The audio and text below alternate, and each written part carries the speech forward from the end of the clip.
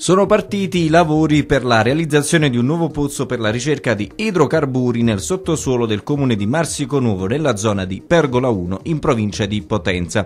Questa è la notizia che si apprende dal sito ufficiale dell'ENI. Lo scopo del progetto, si legge, è la perforazione di un pozzo di ricerca per avere una miglior valutazione della quantità degli idrocarburi contenuti e di quelli recuperabili nel giacimento. Per quanto riguarda la realizzazione del progetto, l'ENI ha documentato con una relazione anche un piano di monitoraggio ambientale e raccolto una serie di pareri e autorizzazioni da parte delle istituzioni preposte.